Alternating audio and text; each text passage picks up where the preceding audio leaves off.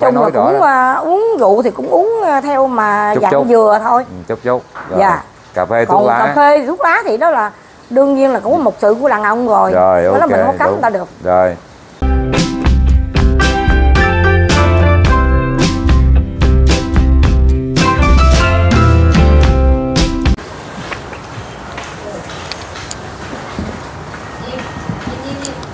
Lời đầu tiên mảnh ghép yêu thương gửi lời chào trân trọng đến quý vị và các bạn thân mến. Dạ, mảnh ghép yêu thương chào chị. dạ chào mảnh ghép yêu thương với chào cộng đồng mạng Dạ. Rồi, bây giờ chị thấy có rung không? Rung. À, thôi bây giờ ha, từ từ ha. Hít thật sâu vô nè. À, hít sâu vô thở nhẹ nhẹ ra bình thường. À, rồi bây giờ nè, à, chị có thể chào quý vị khán giả cũng như à, cho quý vị khán giả biết tên tuổi của mình ha. dạ chào khán giả tôi tên là Phan Thị Lắm sinh 1967 Chị Lắm Dạ. à, sinh 1967 là à, 56 tuổi. Tết này là 57 tuổi. dạ Chị Lắm 57 tuổi. Chị đến từ đâu chị Lắm? dạ em đến từ Bình Tân Quận Bình Tân, Dạ. thành phố Hồ Chí Minh. dạ, Ở đó là quê mình luôn hay sao chị? dạ Lắm? quê ở đó luôn Nhà mình luôn. dạ Rồi. Hiện nay ở Bình Tân chị Lắm làm công việc gì? làm à, thập vụ văn phòng À, làm tập tập à, vụ cho văn phòng ha. dạ À, làm lâu chưa chị? dạ em làm cũng được 5 năm Rồi à, cái đồng lương cái công việc của mình à, đủ sống ổn thỏa không? dạ cũng được Rồi hiện nay tình trạng hôn nhân của chị Lắm như thế nào? ông xã mất Mất. Ừ, Mất lâu chưa chị? mất cũng 11 năm 11 năm. 11 năm ờ, trước khi ông xã chị chị mất đó. Dạ. Rồi hai người được mấy ờ, mặt con? Dạ được ba mặt con. Lớn hết hả chị? Dạ à, cũng có gia đình hết rồi Ừ, vậy giờ cũng khỏe rồi hả? Dạ.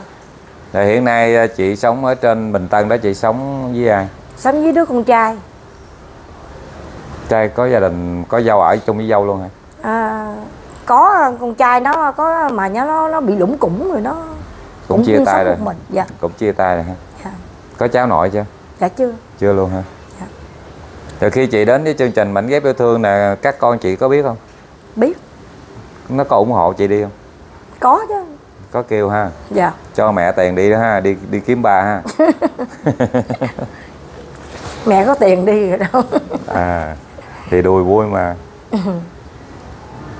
rồi ờ, bây giờ chị lắm đến đây à, muốn chương trình à, mảnh ghép yêu thương giúp gì cho chị à, mạnh ghép yêu thương tìm một người để đi quãng đời còn lại thôi ừ. Dạ. kiếm một người để đi đến hết quãng đời còn lại ha Dạ. rồi chị muốn cái người mà đi sẽ sẽ ngồi chung thiền với mình nè là cái người đó như thế nào mới hợp với chị đang nói chung là nghề nào cũng là nghề bảo vệ cũng được. Miễn yêu thương mình là được rồi. Rồi. Dạ. Chị cứ kể đi chị cứ nói đi. Cái ý chị thì em hiểu rồi đó nhưng mà Dạ. giờ chị cứ nói đặng cho quý vị khán giả người ta xem người ta sẽ hiểu về chị hơn. Thì nói thì chung đúng là cái nghề nào cũng là nghề. hết. dạ thì rồi. bảo vệ cũng là nghề. Dạ. Đi bán vé số cũng là nghề là cái nghề chính đáng mà dạ. Nó mình nói như thế là nó không có phân biệt rất là tốt. Rồi ngoài ra chị còn đòi hỏi là ở ảnh những cái yếu tố gì? Không gia trưởng là không rượu chè bê bết không cà phê thuốc lá hay là không cờ bạc không cái gì đó thì chị nói phải nói rõ cũng đó. à, uống rượu thì cũng uống à, theo mà Chút dạng chút. dừa thôi. Ừ, chút chút. Rồi. Dạ. cà phê thuốc còn lá. cà phê thuốc lá thì đó là đương nhiên là cũng có một sự của đàn ông rồi. Rồi đó ok là mình không cấm ta được. Rồi Dạ. rồi nhờ- có gia trưởng rồi có cờ Không. bạc rồi gì này nọ gái gú đồ không? chị Cái phải kể ra đàn anh biết chứ để mốt bây về cái nói ờ, hỏi lúc tôi quen bà bà đâu có nói vậy đâu dạ đúng rồi thì Ừ. giờ đó thế cho nói, về hỏi lúc mà ờ, không đánh bài không cờ bạc là đó, được rồi ừ Dạ. đó chị phải nói ra chứ để mốt về cái lỡ anh chơi cái Dạ. nó cái chị nói ờ, ông về đặt ờ, cờ- bạc này nọ lúc quen bà bà đâu có nói đâu. Dạ. Rồi lúc đó mình thiệt thòi chứ ai thiệt thòi. Thành ra em muốn các chị lên đây nói là để bảo vệ quyền lợi cho các chị. Dạ. nó có đủ bằng chứng hết sau này không có cãi được. Tôi đã nói rõ với ông rồi trên đó rồi ông đến với tôi là ông phải là người như vậy. Rồi bây giờ à, chị chắc chị có coi những cái video ở trên à, chương trình của tụi em rồi đúng không? Dạ đúng rồi. Là chị có chấm được một anh bảo vệ trên đó rồi đúng không? Có chấm à, chú chú Tiến ừ, 66 tuổi. À, anh Tiến 66 tuổi. Ở đâu? Ở quận 8 à, à anh Tiến 66 tuổi. Anh Tiến đại gia tiền tỷ rồi rồi rồi. Bà bà chị nè, trên cái những cái video của tụi tôi á, rất là nhiều những anh bảo vệ, rất là đẹp trai, rất là ok luôn. Mà tại sao chị không chọn mà chị chọn anh Tiến? Anh Tiến 66 tuổi. Cái tình trạng sức khỏe của ảnh nó nó nó nó yếu nè. Mà rồi cái như tôi phỏng vấn ảnh á, là hình như ảnh không được ổn thấy anh hiền. Đồng ý ảnh hiền nhưng mà ảnh không được ổn. Với cái với cái tuổi của chị nè. Dạ. so với cái tuổi của anh Tiến nó nó rất là khập khểnh mà để đi chung với chị đến cuối con đường liệu nó có mâu thuẫn không? Nó có cái gì đó nó không phải.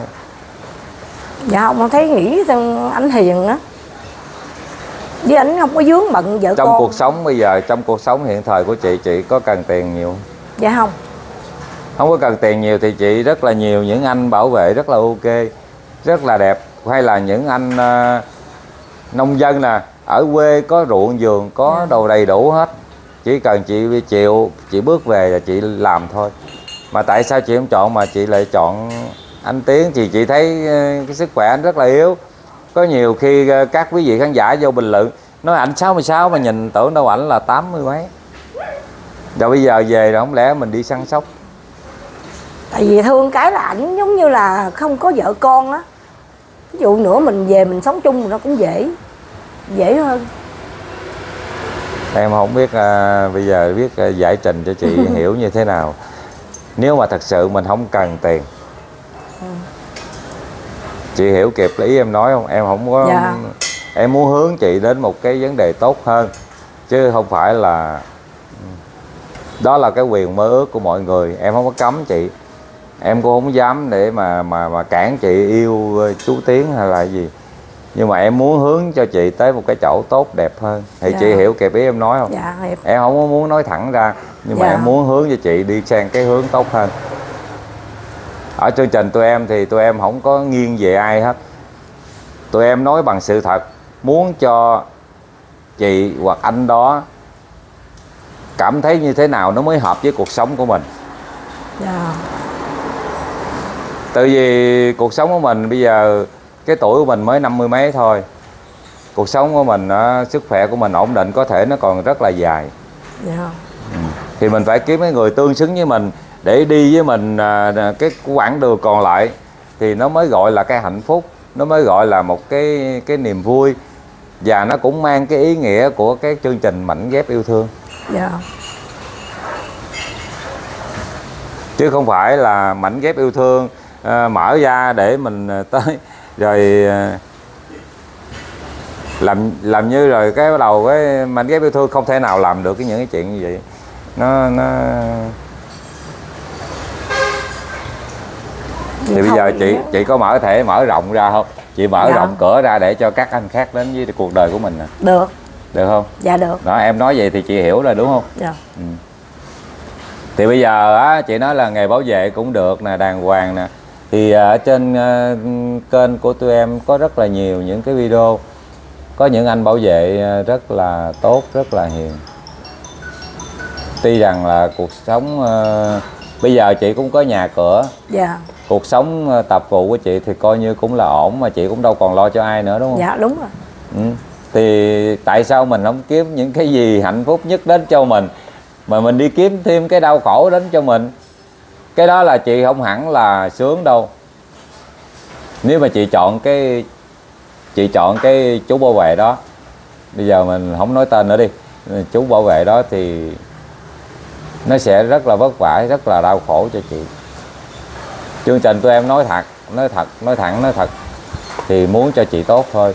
Đó, cũng có nhiều anh à, giờ chị muốn là cái người đó lớn tuổi bao nhiêu? Nói Lớn chung bao nhiêu? à, có tình thương là được rồi còn tuổi tác thì không thành không thành vấn đề. Không được. Chị nói như vậy chung chung là không được. Có tình thương. Bây giờ ví dụ như giờ cái chú đó 80 tuổi rồi giờ ổng thương chị được bao lâu? Trong khi mình rất là trẻ thì tầm cỡ khoảng chị nói à, như lúc đầu chị vô chị nói đó Dạ. là kiếm một cái người để đi, đi với mình đến cuối cuộc đời mà bây giờ chị nói miễn sao có tình thương rồi giờ ổng 85 tuổi rồi ổng thương chị bao lâu rồi đi bao nhiêu lâu rồi trở thành cái gánh nặng cho chị thì cũng tầm giống như à, chừng 60 sáu mấy đổ lại đó cũng được. ở đó thì phải có cái cụ thể có cái mức cụ Dạ. thể của nó là 60 đổ lại hay Dạ. là 65 đổ lại thì chương rồi. trình tụi em sẽ nó dễ dàng xử lý hơn Dạ. Chị có thích ca hát không? Cũng thích nhưng mà ít cũng ít ca lắm. Bây giờ chương trình của tụi em bây giờ em có thể đưa ra cho chị một cái đáp án nè. Chương trình tụi em có một cái chú đó một cái chú đó khoảng 67 tuổi. Cũng còn tướng ờ, cũng còn men lì lắm cao đẹp mà còn trẻ. Có 7 công sầu riêng 4 công ruộng ở Vĩnh Long chị có chịu đi về Vĩnh Long không? Sẽ có một cái quán cà phê cho chị bán luôn. Em đưa ra một cái hạnh phúc cho chị luôn đó. Dạ. ngon hơn chú bảo vệ đó nhiều. Chú bảo vệ đó không có gì ở đâu. Chị nghe như vậy chứ thực chất không có gì đâu. Chỉ là một cái gọi là người ta muốn nói gì người ta nói. Cái Dạ. tuổi dạng như ta bị không không ổn định ở đây chương trình tụi tôi là làm việc rất là, là chuẩn mực luôn làm không có muốn cho các chị phải dính vô cái chuyện đó. Dạ. nếu mà tụi tôi vì vì cái đồng tiền mà giật view để kiếm view thì tụi tôi sẵn sàng đưa chị vào cái chỗ đó để tụi tôi kiếm view. Chứ tôi đâu có ích lợi gì tôi nói ra như vậy đâu. Chị thấy thì sao? Chị, dạ chị thấy được. chị chị chị thấy cái kèo tôi đưa ra có lý không? Dạ. Được không dạ được. Có có biết làm vườn không? Biết. Biết hả? Dạ. Biết đi lượm sầu riêng được không? Biết. Biết hả? Nguy hiểm lắm á. Sầu riêng nó rụng xuống nguy hiểm lắm mà bảy công lận á. Tới đó là tính sao thế đó mà tin hả sao đổi ý lẹo vậy ta? Có nghĩa là mình là bây giờ là vừa vừa chăm sóc bảy công sầu riêng vừa chăm sóc bốn công lúa rồi ngoài ra còn nuôi gà rồi, quán cà phê nữa. Chị có quán xiến nổi không? Nổi. Thiệt không? Thiệt. Thiệt luôn ha. Cuộc sống của mình về đó là nói thẳng là cuộc sống rất là nhàn luôn. Tại vì mình cũng ờ, làm ờ, nông dân làm ra mà. Dân lao động mà. Nhưng mà cái này tôi chỉ đưa ra vậy thôi. Nhưng mà không biết cái cái anh đó anh có đồng ý hay không? Thì đó tùy duyên. À, nhưng mà tôi sẽ hy vọng là sau khi cái clip video clip này đăng lên tôi sẽ gửi đường link cho ảnh coi. Nếu Dạ. ảnh ok thì tôi sẽ mời ảnh. Và chị có đồng ý trả lại chương trình lần nữa không? Dạ đồng ý. À, tôi biết mà. Nếu mà cái đó không được thì tôi sẽ kiếm cái mảnh ghép khác. Dạ. Còn rất là nhiều luôn. Ừm, rất ok lắm. Chương trình tôi tôi làm việc rất ok lắm. Dạ. có nghĩa là các anh các chú à, cũng có nhiều à, người người thật không à? Còn cái nào ảo ảo là tôi nét qua à.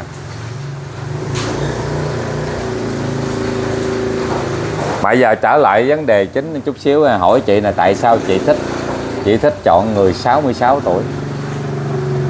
Thấy cái tuổi đó nó cũng hợp với mình cũng đâu có gì đâu. Như thế nào à, chị cho là hợp chị có thể giải thích tại vì mình giờ cũng năm bảy cũng gần 60 rồi. Lớn hơn mình đâu nhiêu tuổi đâu.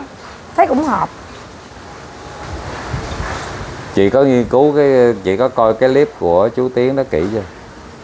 Cái video đó chị có xem kỹ chưa? Hay là chị mới xem rồi chị ờ, đăng ký với chương trình?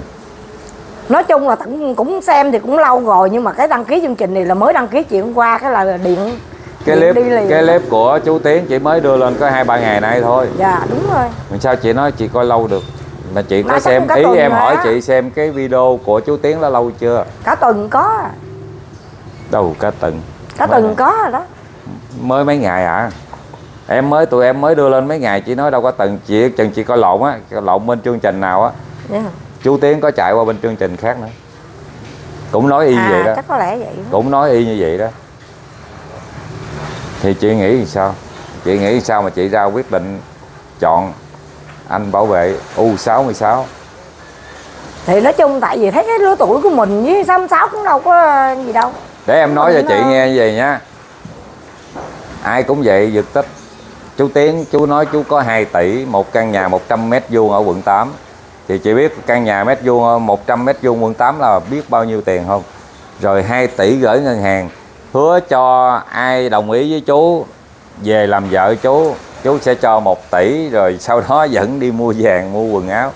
Chị thấy có ai nói chuyện vậy? Không có đó là không thành vấn đề.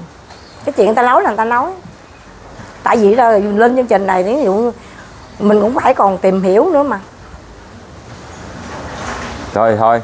Thì à, em cũng không muốn à, nói chị tới cái chuyện đó nhiều. Ừ. thì bây giờ à, chị đến với chương trình rồi thì chị à, lúc đầu tiên thì chị nói là chị à, chọn cái anh bảo vệ U66 đó. Nhưng mà sau thì em sẽ mở cho chị cánh cửa ra thì chị có thể chọn lại được ha. Dạ. Thì bây giờ chị thích chọn hay là chị muốn để mảnh ghép yêu thương chọn giúp cho chị? Vậy để mảnh ghép yêu thương chọn cũng được. Không cái này tụi em à, hỏi ý chị thôi. Nếu mà chị muốn chọn chú tiến thì à, tụi em sẽ liên lạc thử. Rồi nếu mà chú tiến à, chịu á thì hẹn. Như ngày hôm qua hẹn chú tiến xuống chú tiến đâu có xuống đâu. Thôi thì vậy để nhờ chương trình đi nhờ chương trình ở đây tôi tôi nói thật không chứ tôi tôi không có Dạ. nói không có nói để mà mình câu view giật view. Mình làm ra là ít ra mà mình cũng phải có một cái tâm chút xíu. Đúng rồi. Thì bây giờ ý chị thôi. Giờ chị muốn chị chị tự chọn hay là muốn để chương trình chọn cho chị? Để chương trình chọn. Rồi vậy ha. Dạ. Giờ giờ chị còn gì để nói nữa không? dạ không lên đây Thôi ha. dạ Rồi bây giờ chị có đồng ý để cho mảnh ghép yêu thương sử dụng hình ảnh của chị đăng lên mạng xã dạ hội. đồng ý Mọi khiếu nại sau này của con chị cũng như chị, gia đình chị là bắt chương trình gỡ hoặc xóa bài là sẽ không được. dạ Chị đồng ý? dạ đồng ý Rồi cảm ơn chị. Rồi bây giờ trước khi à, kết thúc chương trình, giờ à, mời chị chào khán giả rồi chị em mình kết thúc ha. dạ Rồi mời. Nay đến đây cũng à, kết thúc chương trình chào khán giả và mảnh ghép yêu thương Rồi. bye bye Mảnh ghép yêu thương cũng Dạ. à, chân thành Dạ. à, cảm ơn chị à, đã dành thời gian của mình để đến tham gia với mảnh ghép yêu thương. dạ Và trước khi kết thúc chương trình mảnh ghép yêu thương cầu chúc cho quý vị và các bạn có một ngày thật nhiều sức khỏe, niềm vui và thành công trong cuộc sống. Bây giờ xin chào và hẹn gặp lại. dạ